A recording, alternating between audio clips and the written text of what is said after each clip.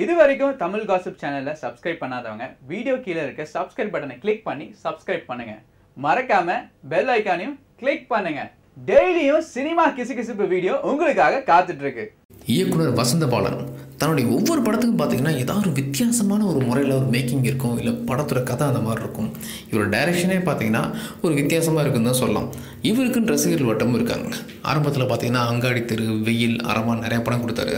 கடைசியாக அவர் இயக்கிய படம் காவிய தலைவர் மிகப்பெரிய பட்ஜெட்டில் இந்த படத்தை ரிலீஸ் பண்ணாங்க. ஆனால் படம் பார்த்தீங்கன்னா அட்ரு ஃப்ளாப் அதுக்காக கிட்டத்தட்ட ஒரு மூணு வருஷம் பிரேக் எடுத்துட்டு மறுபடியும் ஒரு புது படத்தோட களமிறங்க போகிறாரு இந்த தடவை யார் கூட கூட்டணி சேர போகிறோம்னா ஜிவி பிரகாஷ். ஸோ அதுக்காக பார்த்தீங்கன்னா நிறைய ரிசர்ச்லாம் பண்ணி இதுவும் பார்த்தீங்கன்னா வித்தியாசமான கதை அப்படின்னு சொல்கிறாங்க இந்த படத்துக்கு ஜிவி பிரகாஷை சேமிக்கிறாரு.